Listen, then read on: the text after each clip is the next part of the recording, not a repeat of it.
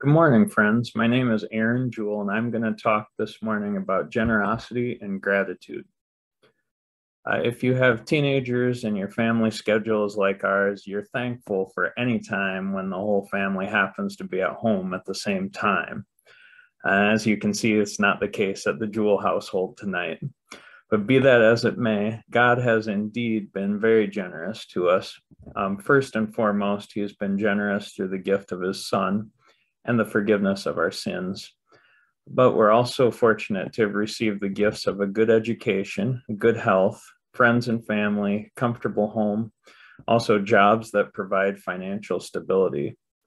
But how should we put these resources and gifts that God has entrusted us with to good use? The world provides plenty of temptation to spend our surplus resources on ourselves, and I'm regularly guilty of this. But when I do that, I forget that I might be missing out on an opportunity. Um, there's a passage from Second Corinthians that reads, The point is this whoever sows sparingly will also reap sparingly, and whoever sows bountifully will also reap bountifully. Each one must give as he has decided in his heart, not reluctantly or under compulsion, for God loves a cheerful giver. So I guess I should decide in my heart that I want to reinvest these gifts that I've received back into the work of God in hopes that we will indeed reap bountifully for Him, as the scripture says.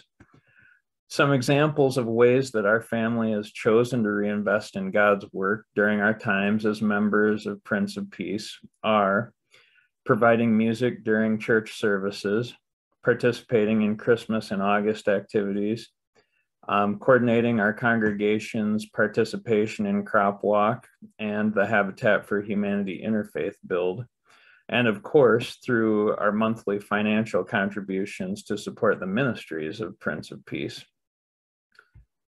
It's my hope that all of us will continue to regularly decide in our hearts to invest in God's work. Thank you.